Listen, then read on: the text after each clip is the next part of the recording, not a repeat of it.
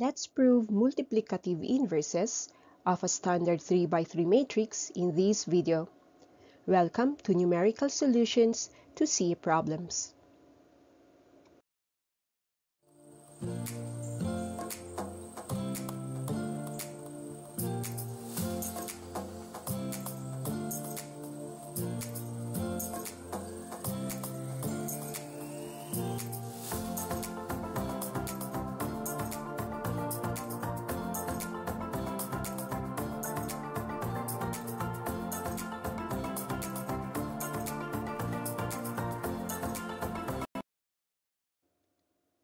The property for multiplicative inverses suggests that the product of a matrix and its inverse will always be an identity matrix.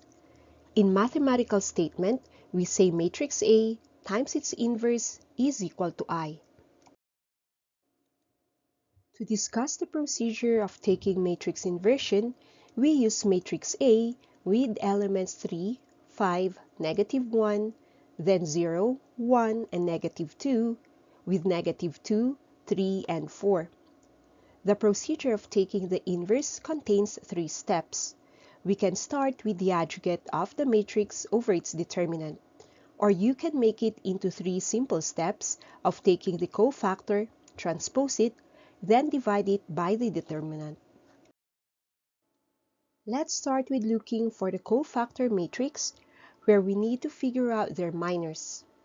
But before that, we have to provide sign reversal on each minor determinant. Now, if we cover the row and column intersecting element A11, the remaining elements are 1, negative 2, 3, and 4. Now cover the second column and take 0, negative 2 with another negative 2 and 4 as the minors for element A, 1, 2. Then move the covered column into the right. Then 0, 1, negative 2, and 3 are the remaining elements for A1, 3. Moving on to the second row and start with the first column, we leave the elements 5, negative 1, 3, and 4 as the minors for element A, 2, 1. By covering the second column this time, we have the elements 3, negative 1, negative 2, and 4, which are the minors to be plotted for the cofactor element A22. 2, 2.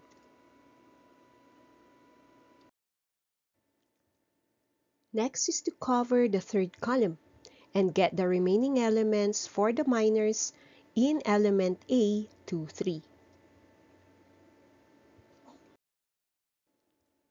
So for the last row, cover the first column and get 5, negative 1, 1, and negative 2 as the minors for element A, 3, 1. We have two more to go. So let's move the column to the second and get 3, then 0 with negative 1 and negative 2 as minors for element A, 3, 2. Now have the last covering column on the third, and elements for A33 are 3, 5, 0, and 1. Knowing all minors for the cofactor matrix, the next steps to compute for the determinants. From element A11, we have 1 times 4, which is 4, minus 3 times negative 2 as negative 6. Going down, we have 5 times 4 as 20, minus 3 times negative 1 as negative 3. Then further below, we have 5 by negative 2 as negative 10, minus 1 times negative 1 resulting to negative 1. For the second column, we have 0 times 4 which makes 0, minus negative 2 times negative 2 and that is 4.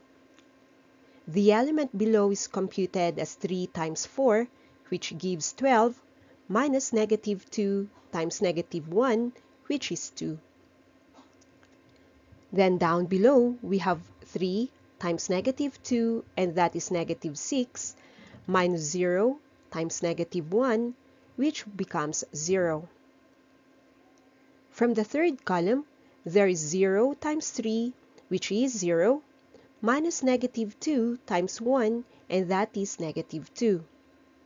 The element below has 3 times 3, which gives 9, minus negative 2 times 5, or that is negative 10.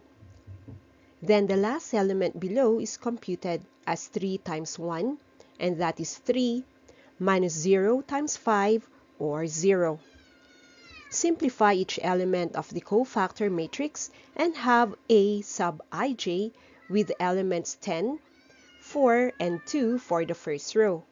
Then negative 23, 10, and negative 19 on the second row, with negative 9, 6, and 3 on the last row.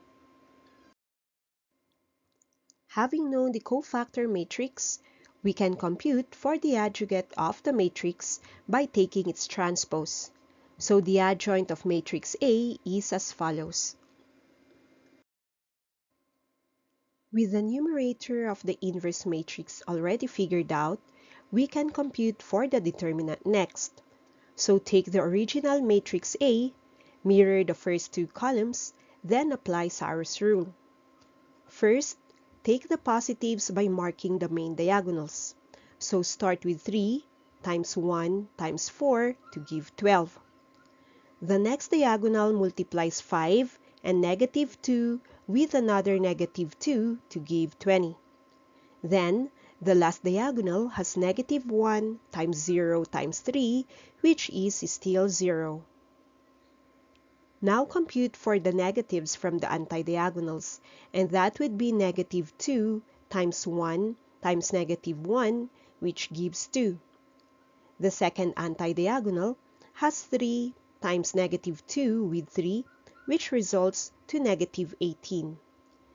Then the last antidiagonal has 4 times 0 times 5, which is still 0. Add each of these and subtract the positives from the negatives. So the determinant of A is 12 plus 20 plus 0 minus the quantity of 2 minus 18 plus 0. This is simplified as 48. Finally, we compute for the inverse by multiplying the reciprocal of the determinant with the adjoint of matrix A. This is done basically as dividing each element by 48 and have all the elements reduced to their simplest form. The last step is to work on the multiplicative inverses of matrices. So take the product of the original matrix A and its inverse. From the first column, we start on the first row. That would be 3 times 5 24th plus 5 times 1 12th minus 1 times 1 24th, and this is 1. The second row has 0 times 5 24th plus 1 times 1 12th minus 2 times 1 24th, which gives 0. Then on the last row, we have negative 2 times 5 24th plus 3 of 1 12th plus 4 times negative 124, which still gives 0. Moving on to the second column, the first row has 3 times negative 23 over 48 plus 5 times 524 minus 1 times negative 19 over 48. This is simplified as 0. The second row has 0 times negative 23 over 48 plus 1 times 524 minus 2 by negative 19 over 48, and this results to 1. The third row of the second column has negative 2 times negative 23 over 48 plus 3 times 524 plus 4 of negative 19 over 48, again simplified as 0. For the third column, we take the first row as thrice of negative 3 16th plus 5 times 1 8 minus 1 times 1 16th. and that is 0. The second row has 0 of negative 3 16 plus 1 times 1 8 minus twice of 1 16, which is simplified as 0. Then the last row has negative 2 times negative 3 upon 16 plus 3 times 1 8 plus 4 times 1 16, which results to 1. Now it's proven at this point that matrix A times its inverse results to an identity matrix.